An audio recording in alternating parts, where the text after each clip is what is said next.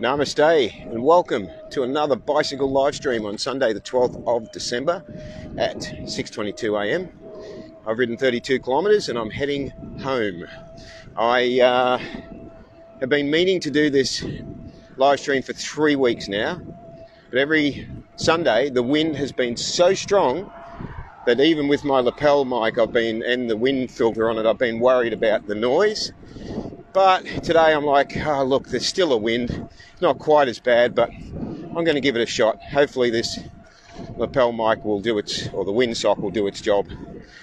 So, this morning's topic is actually a follow on from the last live stream I did, well, it must be four weeks ago now, which was um, what was the most important lesson that I've ever learnt. So, this morning's live stream is called Why is Evil so pervasive? And it comes, it comes from a question from my last live stream. So let's just refresh, seeing as it's been a month, let's just refresh your memory. I did a series of three live streams a month ago. The third one, what was the th- it was called the most important lessons I've ever learnt. The third one, the third most important lesson I ever learnt, is that no one controls your emotions other than yourself.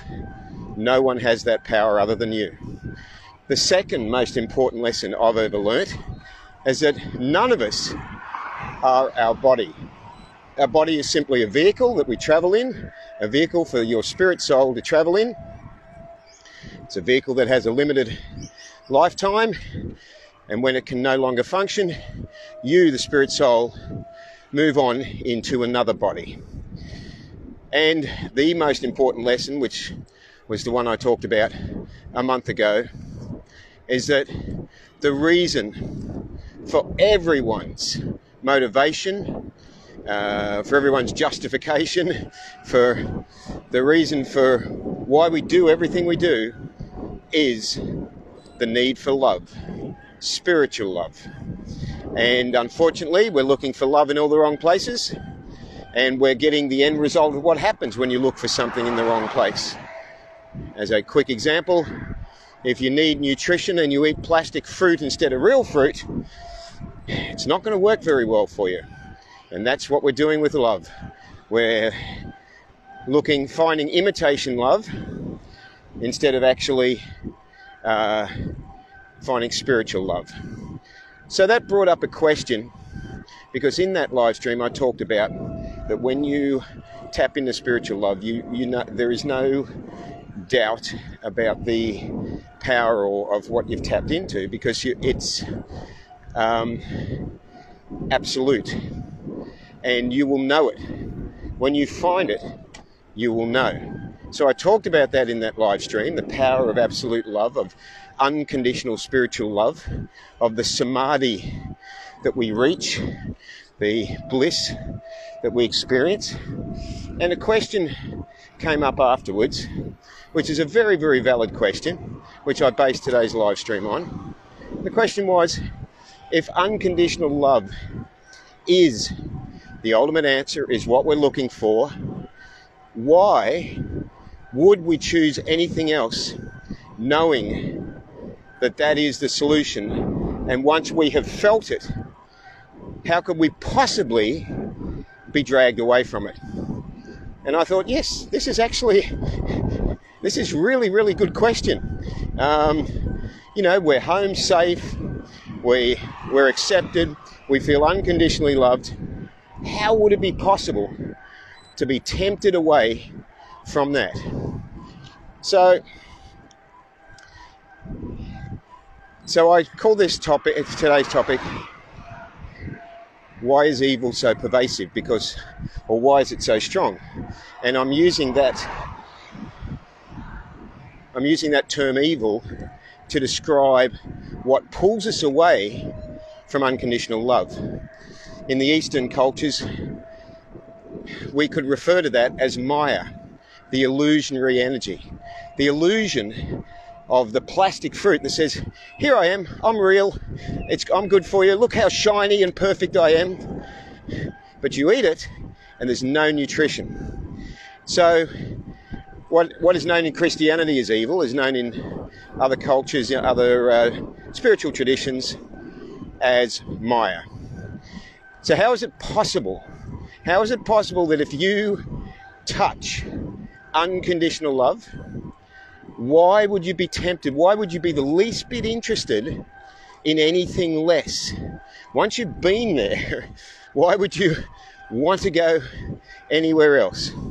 So, this is a question we came up with, and there's two things to understand as to how and why this is possible.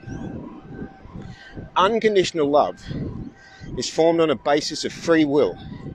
You can't force someone to love you. You give them the freedom to love you. That love is all about letting go, it's all about freedom, it's all about unconditional love.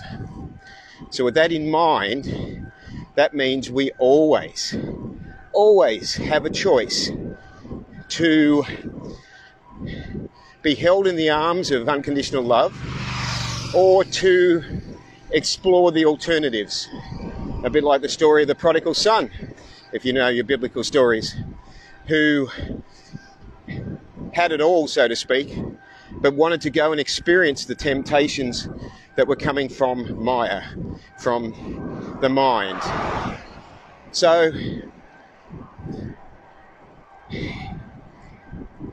if unconditional love. It, I'll just get, I'll say Christianity has this thing where they say, you know, there's a battle between good and evil. And it's like, well, how can there be a battle between good and evil if good is the ultimate force that created everything?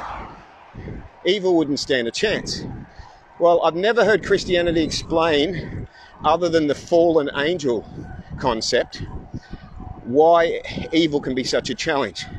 But it can be a challenge because, and this is the most important thing to know, that not only do we have a choice, free will always, to choose good or evil, but evil or Maya, let's talk about let's talk it from, from the Eastern culture tradition. Maya is powered by unconditional love. So, in other words, the illusionary energy actually gets her power from unconditional love. If she didn't, then she wouldn't be much of a temptation. She wouldn't be much of an illusion because basically we would just look at her and go, "Oh, that fruit's plastic. I'm not going to eat that fruit." I mean, that's you know, it's obvious um, that that fruit's not good for me. However, in giving us our choice, our free will, it has been arranged by the Supreme that Maya is a perfect servant of the Supreme and is empowered by the Supreme.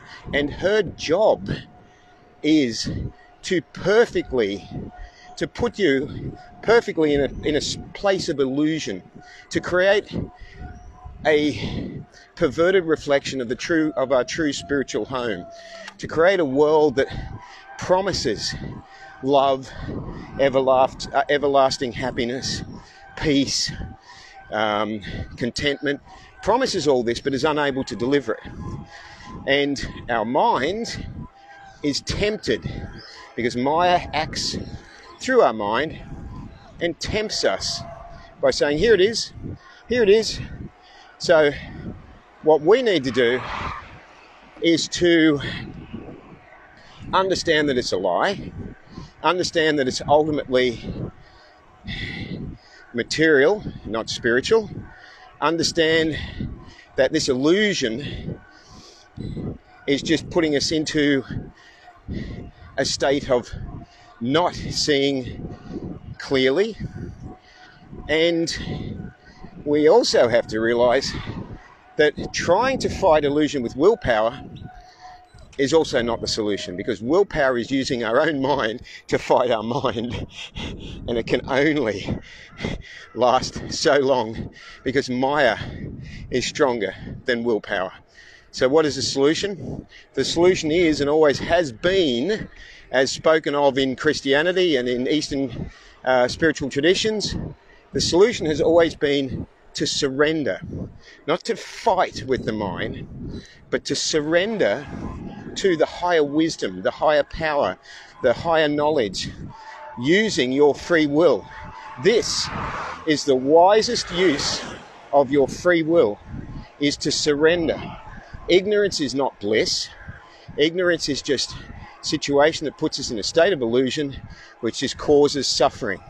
But in our suffering, we start to ask questions about the decisions we've made, the path we're following. If the path we're following is the right one, why are we suffering?